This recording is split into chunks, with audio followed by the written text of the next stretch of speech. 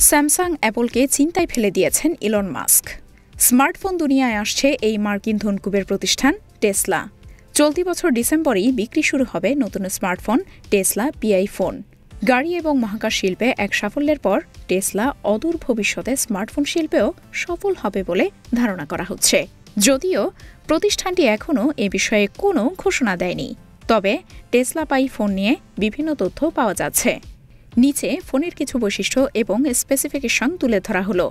Tesla Pi ফোনের সম্ভাব্য specification display Tesla PI ফোনে ছয় দশমিক সাত ইঞ্চি ওএলইডি ডিসপ্লে থাকবে।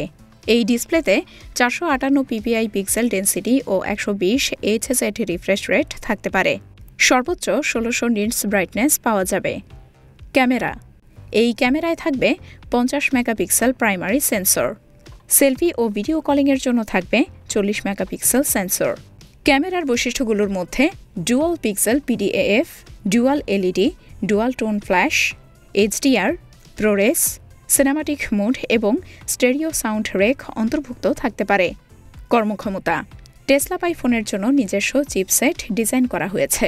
এটিকে টেসলা প্রসেসর নাম দিয়েছে বলে জানা গেছে। জিপিইউ এর জন্য টেসলা তার নিজস্ব টেসলা জিপিইউ ব্যবহার করেছে। পিআই ফোনে ব্যবহৃত স্টোরেজের ধরন হল এনভিএমই, ব্যাটারি।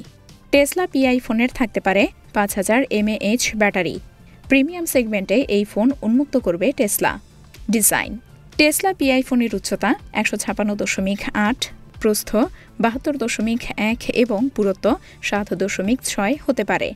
এই ফোনের ওজন প্রায় দুইশো চল্লিশ গ্রাম। এই ফোনে থাকতে পারে আট জিবি র্যাম ও পাঁচশো বারো জিবি স্টোরেজ। সত্তর থেকে আশি হাজার টাকার মধ্যেই বাজারে আসতে পারে টেসলা পিআই ফোন।